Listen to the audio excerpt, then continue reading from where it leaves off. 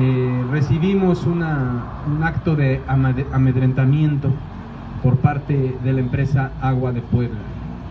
Eh, siempre han actuado el SUAPAP y Agua de Puebla como si fueran uno mismo, se confunden los intereses, Agua de Puebla se cree gobierno y SUAPAP se cree empresa privada.